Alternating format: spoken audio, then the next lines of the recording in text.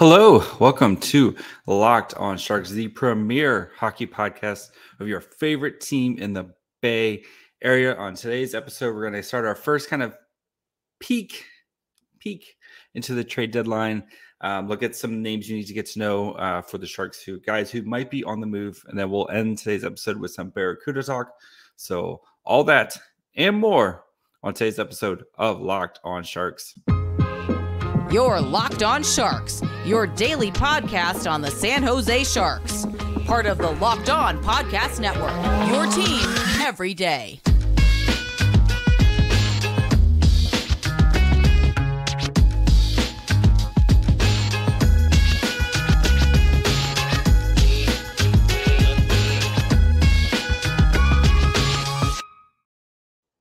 I'm your host, JD Young, contributor at Fear the Fin and San Jose Hockey Now. I want to thank you for making Locked On Sharks your first listen. We're free and available wherever you get podcasts. And of course, you can watch this on YouTube as well. And the Sharks played Friday night against the uh, the Ducks. They won. There's really not much to take away from that game other than uh, Makiniemi looked really, really good. Um, but the Ducks are like one of the, are the worst team in the NHL right now, and it's hard to kind of draw a lot of stuff out of that game other than the Sharks are just better than the Ducks right now. And Makiniemi will probably be getting more NHL starts later this season. But let's get caught up on some news and notes. Um, as we have practice and some transactions and stuff, and then we're going to start look at the Sharks uh, roster and which players could be potential free agent or potential guys to be moved at the trade deadline. Just kind of a nice little dip, dip our toes into the water of the trade deadline. Um, as again, the Sharks schedule kind of lightens up a little bit here. So they play the Coyotes tom- on uh, Tuesday. So we'll have a preview for that that game um, tomorrow. We're going to be doing a crossover with the fine folks over at Locked On Coyotes and then they don't play until Saturdays. So we got some time here to kind of dig into some other topics and con, you know, some some other content here. So this week, so um, so let's start with with a couple news and notes and transaction stuff. So Couture did miss practice on Saturday, but or on Sunday, sorry, but he he took he blocked a shot um, in the Ducks game in the ankle. It looked painful. Um, he didn't play much after, if at all, after the game um, or after the, that. But sounds like he should be trending to be okay. Just at least start practicing. Um, see, Monday's a big day if he gets a full day of practice, and I would assume he's probably going to be good to go on Tuesday against the the Coyotes. Um, if he misses, that would be big. I would wonder because I mean he's been a, a, huge part of that second line kind of resurgence. Um, so interested to see what they do there. If they maybe dig down to like Bordeleau could probably come in and play that second line role for them, or if they want to, maybe they slide Bonino there.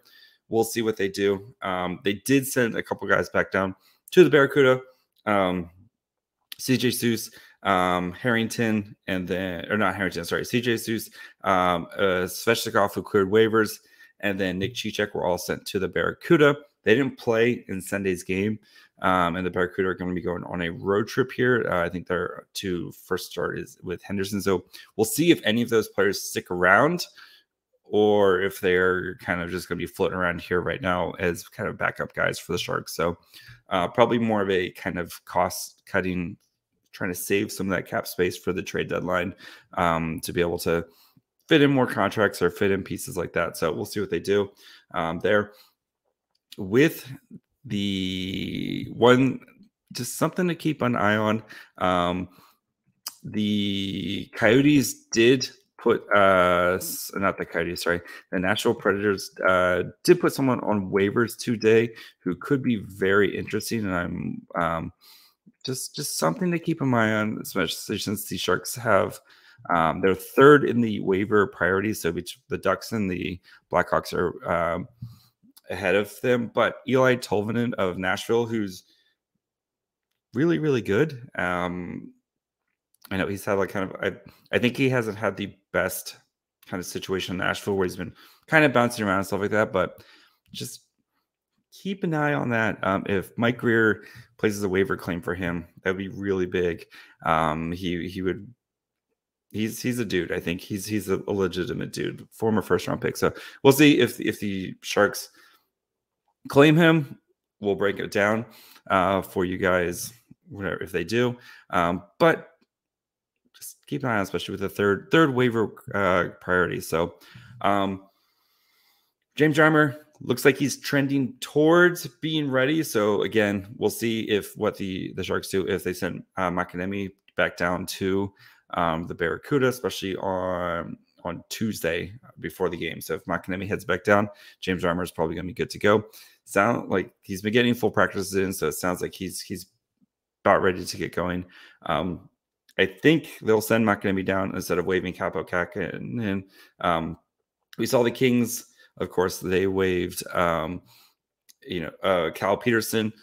He cleared through waivers. Kähkönen, I don't know if he would clear through waivers, to be honest. I think somebody would potentially grab him. I know he's not had a good season uh, with the Sharks this year, but $2 million or $2.5 million for a goalie for the next two years. And we've seen him play really well before. So you wonder, I I don't think he would clear waivers, is, is my thinking if they did waive him. So um, I would assume Eetu Makiniemi, or sorry, Etu, Etu, got to work on. Uh, that's how he likes to his first name pronounced, but Etu Makiniemi. Um, I think he would be, or sorry, Eto, Eto. Um, I think I know he played really well against the Ducks, but um, I don't think he's ready for kind of a full time backup load uh, load yet from from the Sharks. Let him keep playing with the Cuda. The Cuda are, are off to a really good start this year, and I think let him keep playing with the Cuda right now, and he will get NHL games at, at the end of the year, especially once James Reimer is traded. Um, so, yes, just keep him. Sharks will have some transactions here in the next couple days. So, before we continue, look into this trade deadline, kind of what to expect, some names that probably will be on the move. Um, I'll go through the entire roster guys who I think kind of look at who they're going to, who I think is going to be on the move. And then we'll dig into kind of the five guys who are realistically or not realistically uh, could be traded. So, but before we do that, do want to let you guys know about our friends over at uh, Simply Safe. Today's episode is brought to you guys by SimpliSafe. If you haven't checked out SimpliSafe yet, now's the time, especially with the holidays here. Holiday season, you see stuff, you know, stuff happening on the rise, like package theft, you know, home invasions, all that stuff right now. That's where you want to protect yourself, especially this time of the year with the number one rated home security system, SimpliSafe. And right now, SimpliSafe is offering Locked On Sharks listeners 40% off a new security system. But so don't put this off, okay? Great thing about them is their app, right? you're out Christmas shopping, you're at a Christmas party, holiday party, whatever, you're out at any time, you pull up the app, you could check the cameras, make sure everything looks good at home. It's great. And another great thing about them is their fast protect technology. In case of an emergency, 24 7 professional monitoring agents are always keeping an eye. So that way they can capture critical evidence and use that to verify the threat is real. So you get the highest priority uh, police response and you know, if you're like out and like a raccoon goes through your backyard, they're not going to, you know, they know when it, a threat is real. So go check them out. You get the 24 7 professional monitoring service, cost for under a dollar a day, less than half the price of traditional home security systems. And again, you don't want to miss out saving 40% off when you go to simplisafe.com slash Locked On NHL today. That's simplisafe.com slash Locked On NHL. There's no safe like simply safe. All right, let's look at the entire Sharks roster. Which guys, uh, potential trade candidates, which guys. So I'm going to go forwards and then on. Um, Hertl, he's not getting traded. He's the only safe guy. He has a full no movement clause. He just signed it. Hertl's not getting traded. Logan Couture, um, if a team came calling, I think they would listen. But I mean, again, he has a three team no trade and he's the captain of the team. Um, I don't think I would be shocked if Logan Couture got traded. Um, Kevin Labanc, two years left, 4.75. There was 725 million. Um, whispers of potentially trying to move him. He's had a pretty good uh, start to the season this year. Really has kind of found his home on that top line. Again, I don't think I don't think he would be traded right now, especially with two years left on his deal, with this year and next year left on his deal, and a team trying to add kind of five million dollars into their their cap hit for the next uh, next year. I don't think he's going to be traded. Uh, Luke Kunin, two years left at two point seven five. Sharks just traded for him. I don't think they would trade him right now. Um, maybe next year. Yeah, I don't see it uh, right now. Again, if a team came calling, I'm sure Mike Grier, but I just realistically, there's a bajillion guys like Luke Luke, Luke out there right now. Oskar Lindblom, um, two years at two and a half million dollars. He's not had the season that we uh, expected. Don't see it. Alexander Barabanov um, does have a 10 team no trade list, two years at two and a half million dollars. If a team came asking, I think I the Sharks would definitely look into that, but um, I don't think they are going to be actively, you know, putting him out there on the roster.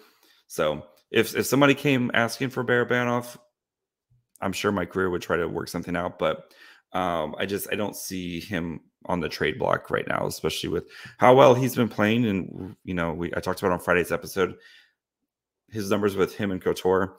Um, Barabanov is a legit top six uh, forward, and he would be an amazing third line forward um, for for any playoff team. So, Nick Bonino, oh, well, hold on on that one. Sorry, uh, Nico Sturm, three years at two million dollars. Um, again, if a team asked, I'm sure Mike Grier would be uh, more than happy to talk. But the he's had a great season, start to a season, but again,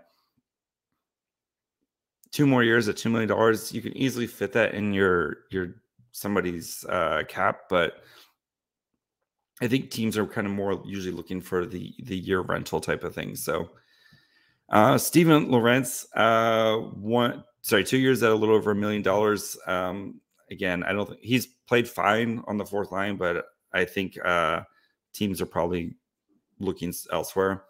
Uh, Noah Gregor does is on the last year of his uh, deal with a little under a million dollars. He hasn't really played much. Maybe he could be one of those guys who fresh start, but again, I I don't think his play is warranted enough for him to uh, be a potential trade candidate.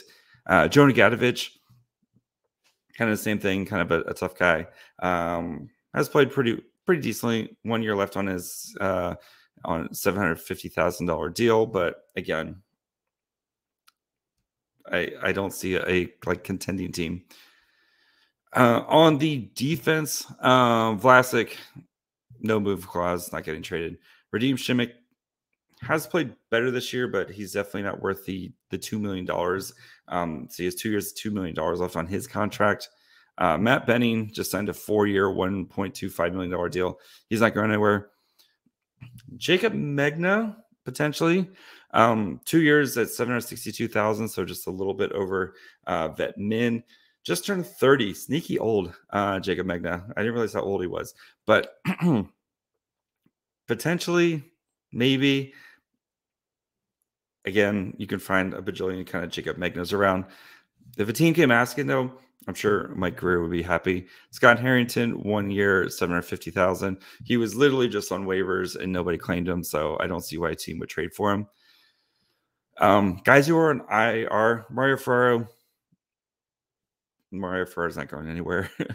just signed a four year deal at 3.25. Um, yeah, he's not going anywhere. And then the other two guys will will hang on there. Talk about in a minute. Kaapo Kähkönen, um, it would be weird if the Sharks traded him, uh, especially if they potentially trade James Reimer. Then you would have like uh, Eetu Makiniemi and Aaron Dell as your goaltending tandem for uh, a good chunk. But I don't think Kaapo Kähkönen his his play has not been warranted being worth a trade. And um, if he went on waivers, I think a team might take a, a, a stab at him, but um, I don't think somebody's going to be giving up a real asset for for him right now. So let's look at quickly at the guys um, who I kind of left off. So we'll start with Erik Karlsson. Has four years left plus this year at $11.5 million. Full non movement clause. He's not getting traded. I just put him on here because, of course, all this smoke and, and stuff. But um, unless Erik Karlsson says he wants to get traded, he's not going anywhere. Um, 30 games this year to 12 goals and 25 assists um, is at 53.62% Corsi For at 5 on 5. Um, again, I know there's a lot of, oh, good Erik Karlsson. I just don't see someone fitting, trying to fit in whatever percentage of Erik Karlsson's cap for the next four years. Um, right now, it's yeah, his his contract plus he has a full no bond, a full no movement clause. It's just I just don't see it happening. So Nick Bonino, the Sharks should get whatever they possibly can for Nick Bonino. Um, I would assume something kind of like what we saw last year from Andrew Cogliano, probably like a fifth round pick in a couple years, whatever you can get from Nick Bonino.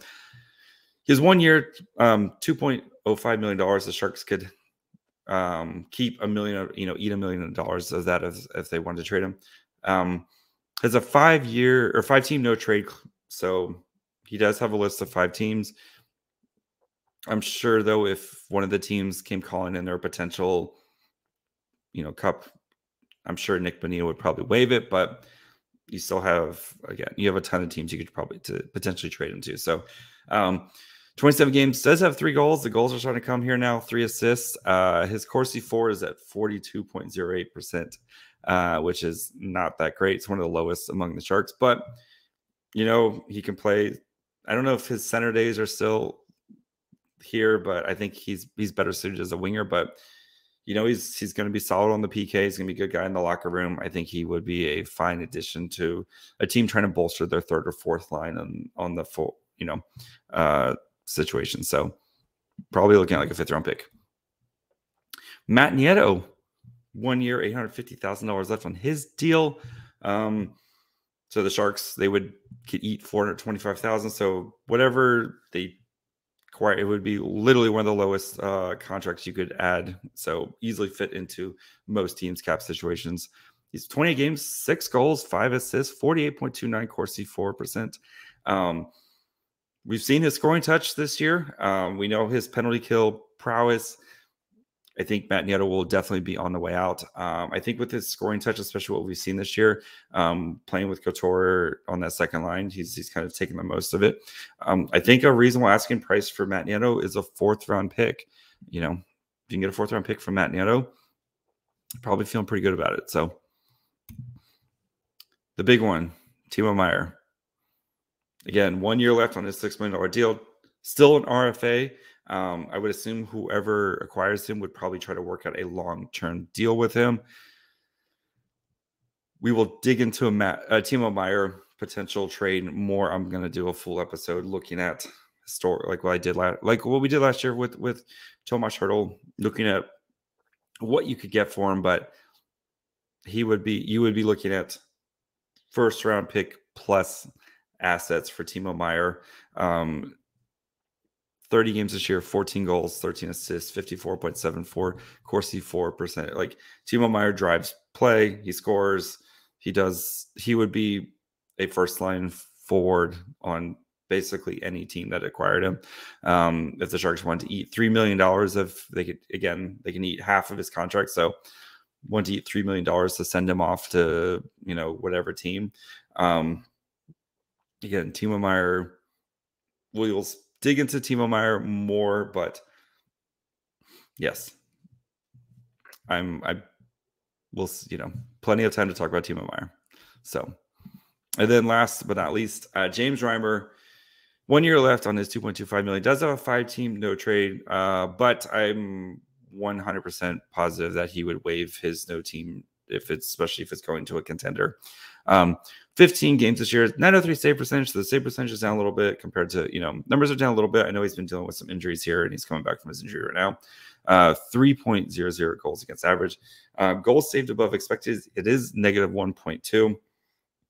But we have seen the Sharks defense this year I think that asking price is a second. That I think that's what the Sharks' asking price is is a second round pick. Um, and there's plenty of teams that could use uh, some help in the goaltending department.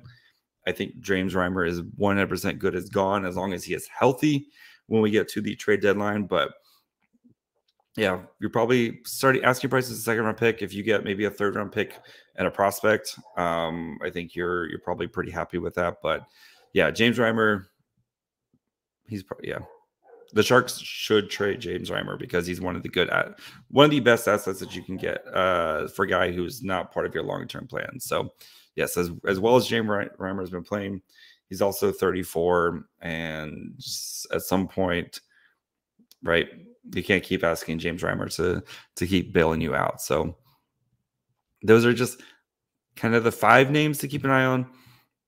Again, I don't think Erik Karlsson's going anywhere, but we'll dig into Timo Meier a little bit more um, as we get uh, closer to the trade deadline. We'll do a full Timo Meier special. What could they get? What teams make a lot of sense? All that fun stuff. So, but before we get into some Barracuda talk, uh, let's take a quick break. Talk to you guys about our friends over at Bet Online. Today's episode is brought to you guys by Bet Online, the number one source for your sports betting info, stats, news, and analysis. Have the latest odds and trends for every professional and amateur league out there. You got football, you have NCAA, or you've got college football, of course. You have bowl season here, basketball, you have pro, college, soccer, World Cup. You're down to the final four. Esports, they've got you covered over at betonline.net. And if you love a sports podcast, which you clearly do because you're listening to one right now, you can find those over at BetOnline as well. They're the fastest and easiest way to get your betting fixed in. So head to the website today or use your mobile device to learn more. BetOnline, where the game starts. All right, CUDA talk. Um, so CUDA played Friday night. They got their doors blown out off. Uh, it was like eight to three against Coachella Valley. Um, looked like a team that had not played for a week, and that's how the first period was when they were down like five to one. But tonight's game though was um, much different, much better. They won three to one against the um, Bakersfield Condor, and we're continuing to see these young players um, taking bigger steps and bigger strides. We had Tristen Robins with a goal, Scott Reedy with a goal, and William Eklund with a goal. Uh, Reedy and Eklunds were both on the power play. Let's start with the Barracuda power play, which um, had a very interesting. They went the five forwards. Uh, so you had Agozzino, Reedy, Bordeleau, Robins, and Gushchin all on the ice at the same time. And they got two goals out of it. Even when the Barracuda were up 2 nothing, kind of mid to late third period, still ran at that same power play one unit. So very interesting with John McCarthy kind of utilizing this power play of this five uh, forward power play. And I mean, the Sharks kind of do it I mean, except for Erik Karlsson is is the fifth defense or the fifth forward, and we, you know, Erik Karlsson is an absolute wizard as a uh, offensive defenseman, but just really interesting that they've kind of gone with this, especially with how beat up and how hurt defensively they are. Right, you know, Cicek's been up with the Barracuda or up with the Sharks. Uh, Pouliot has been out. Um, Knyzhov has been out. Um, Hatakka has been out. So it's basically been Merkley and Onyebuchi kind of having to, and then a bunch of kind of PTO guys, you know. So that, that's kind of been their defensive struggle. And you've seen that kind of really hurt with their transition game of getting hemmed in and pinned in with their own their own defensive zone constantly. But back to the power play though, just letting those five guys, especially because Bordeleau, Eklund, and Gushchin are all rookies. McCarthy kind of showing the trust in these guys that, you know what, I think, yeah, there might be a defensive miscue here, but I think my guys are just going to score, and they showed it tonight, right? Having two goals, um, two power play goals tonight. So interesting to see, especially if if he kind of continues that, especially as some guys start getting back, if you know start getting some more bodies in in the, the defensive ranks. But just pretty pretty awesome that they're willing to kind of try that down there. And again, giving Eklund, Bordeleau, and Gushchin the free reins on on a five yeah five the fab five forward group on the power play there. So um eklund continues to do eklund things. Um had a really nice chance on on a shorthanded wraparound attempt um tonight's almost this close to scoring there. So again util getting that uh, critical shorthanded time learning kind of that position. And now he's he's kind of learning and now he's like okay let me take the next step and try to instead of just being a penalty killer, can we make this try to get some offense here? Being smart about it. It was a good, you know, good, good play there, but kind of taking that next step with it, right? Um, and then with with some of the other guys, right? Danil Gushchin really started to come on recently, had another assist tonight, and you're seeing his confidence start to grow. And as he's he's starting to kind of figure out, okay, if, if I'm not just if I'm not just scoring, what else am I can I do to help the team? And you're really starting to kind of see that with him and his confidence is starting to grow and playing, you know, he's been playing top six minutes now with with the Barracuda. Um, good development stuff, right? And I know there's people question about John McCarthy, especially maybe some of the in-game stuff, but we know John McCarthy, he's good at developing players. And I think the in-game coaching decisions and some of that stuff will continue to kind of remember he's a first year coach, right? Some of that stuff will continue to to to come with him. But you're seeing the development and how these players are adding skills to their tool set. You know, especially these young players, right?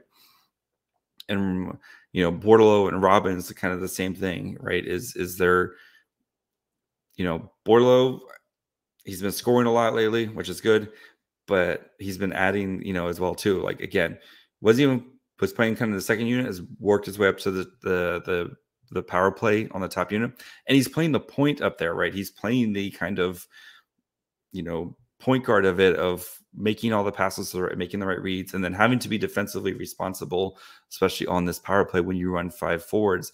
And stuff's going to happen sometimes, and you need those forwards to kind of play strong defensive, uh, you know, that way you're not giving up shorthanded goals. But again, trusting these guys and giving them the the kind of okay, you've been learning. Let's add the next thing for you too. So, um, really, really encouraging to see. They got a big road trip coming up here. Um, they start in Henderson, who Henderson's been kind of uh, not super great um, this year. But let me pull up the eight. Let me pull up the standings right now. So, um, kind of. Uh, All right, so kind of standings in the schedule. So in the Pacific Division, um, Barracuda are fifth out of 10. It's kind of crazy how these are all kind of divided up. But anyway, uh, fifth out of 10. So they've got 27 points. They're tied with Coachella. Coachella just kind of blew the doors off them. Coachella's also only played 19 games. So, um, but 13 wins, 10 losses, one shootout loss for the Barracuda.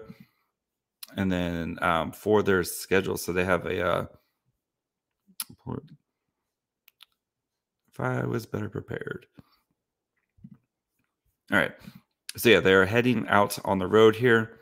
So they got Henderson, who I think they should be able to beat. Then this weekend they have two games in Colorado on Friday and Saturday. And then in Abbotsford next week before they head back home to play the Condors and Coachella Valley um, to end the year here. So yeah, so I think though for them, they should be able to beat Henderson. And then I think if you split the two games against Colorado and split the two games against Abbotsford, you're probably going to feel pretty good about yourself. So that's some Barracuda talk. All right. Um, that's going to do it for me today. Um, of course, you can follow me on Twitter at my fryhole. Um, you can follow the show Twitter, Facebook, and Instagram at Locked On Sharks. You can listen wherever you get podcasts Apple, Spotify, Audacy, all of those places. Watch on YouTube. And then until tomorrow, so we have a nice preview with the uh, Locked On Coyotes. So we'll probably talk about the game, talk about tanking, um, all that fun stuff. So until tomorrow, bye, friends.